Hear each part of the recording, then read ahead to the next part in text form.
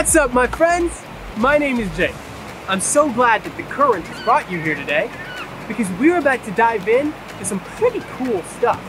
I mean, 95% of all living things on Earth live below the surface of the water, so it's an endless world of things to discover. It's amazing how God created all of the beautiful and exciting things we love about the ocean. And I'm pumped that we're going to dive into a few of those today. One way that we can get all of our fins in motion is to play a game.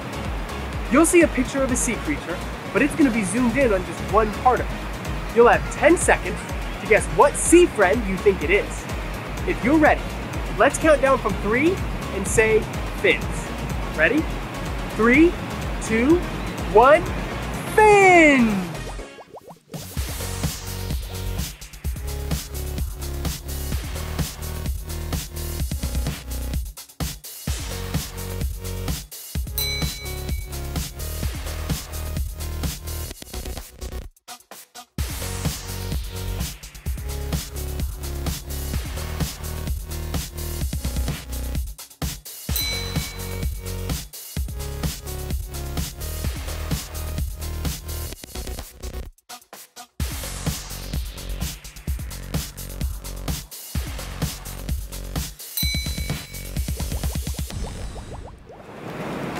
Actually makes me think of what it's like to follow Jesus. When you follow Jesus over time, you'll see him do amazing things in your life. And the best way to help others get to know Jesus is to share those awesome things with them. Jesus really is the very best, and everyone needs to know about him. So let me hear you say this after me, as loud as you can. Share Share! Jesus! Jesus! That's right.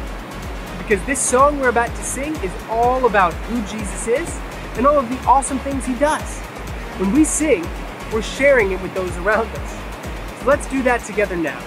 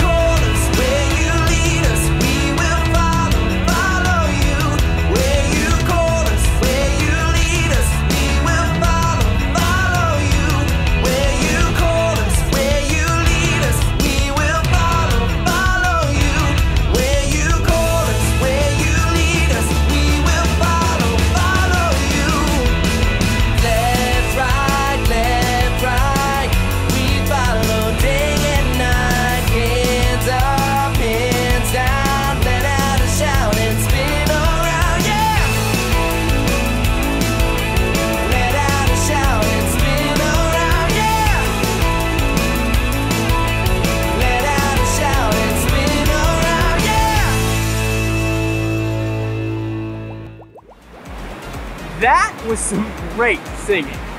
Now, my friend Cora has some super fun things to show you today. So take a look. Hey there, friends. Thanks for popping by.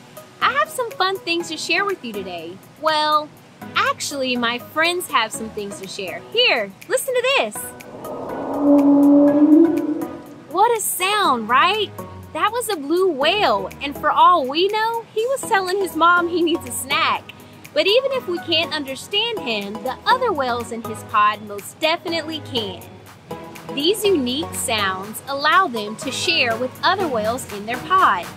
When you hear them making noises like the singing we just heard, scientists believe that could mean a couple different things. They could be migrating, which just means they're on the move, or that they're trying to find another whale in their pod. Even though we may not be able to hear the difference from one blue whale to another, the whales in the pod can. Every single pod has its own unique sound to communicate with one another, but it also helps them to spot outsiders. And singing isn't the only kind of sound whales make. You might also hear clicking noises from time to time. These help the whales navigate their way through the deep blue. For a while, scientists thought that the whale sounds had gotten louder over time, but sadly, they found that there's just more pollution preventing the sound from traveling. So, because the noise can't travel, when you're close enough to hear it, get ready because it is loud. And whales aren't the only animals that share info with each other by making sounds. Another adorable sea creature that has a lot to say is my personal favorite, the dolphin. While dolphins also share important information by clicking, their singing sounds unique from the whales. Here, take a listen.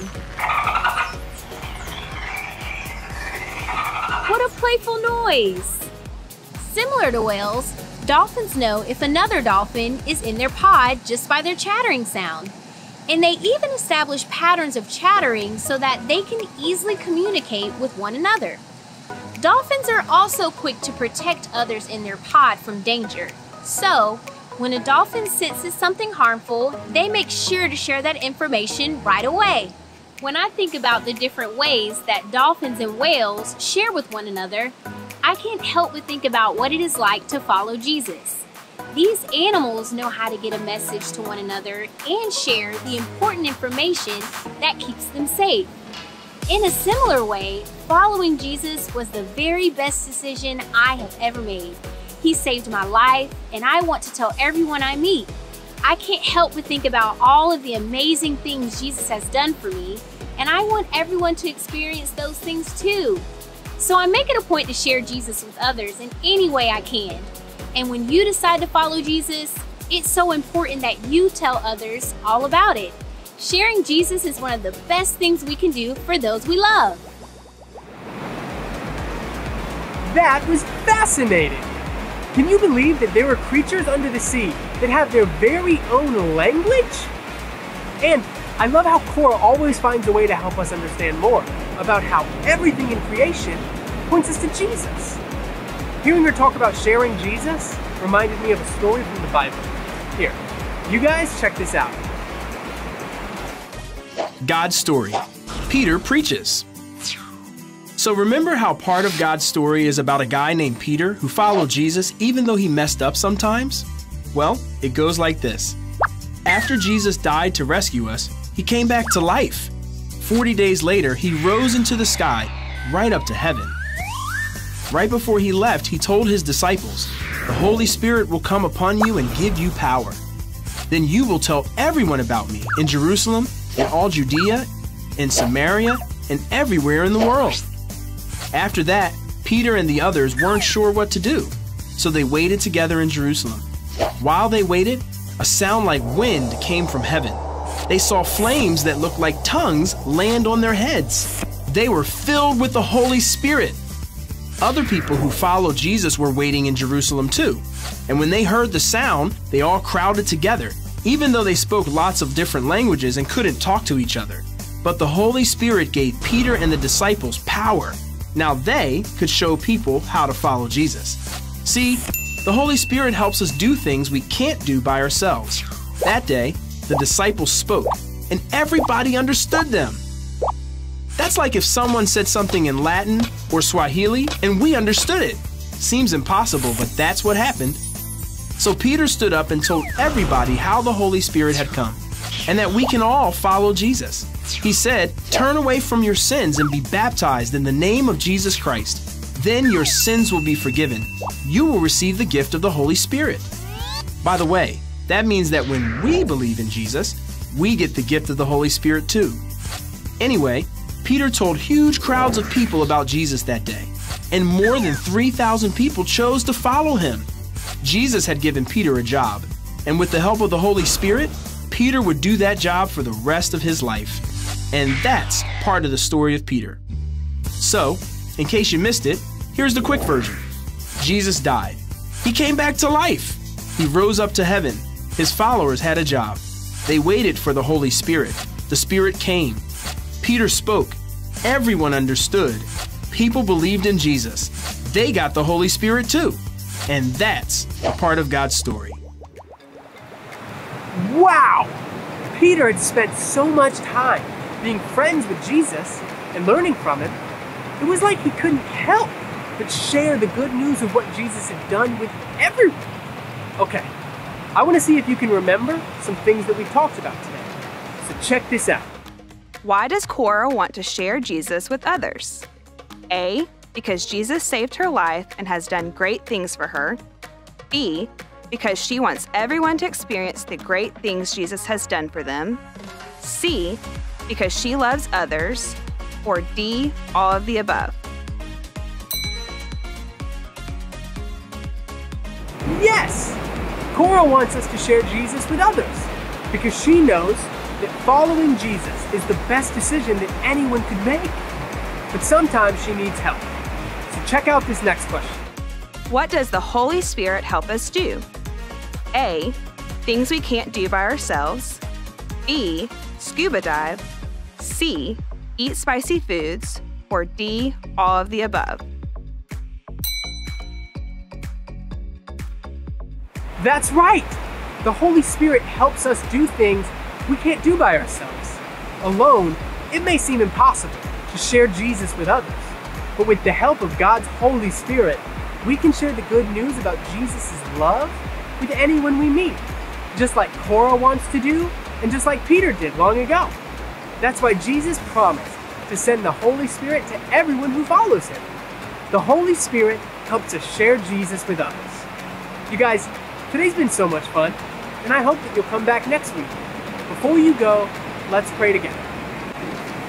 Jesus, you are awesome. Thank you for dying to rescue us and for coming back to life. And thank you for sending us a Holy Spirit to help us every day. Please help us to share you with others. Amen. It's time for me to go, but the fun is not over yet. Check this out.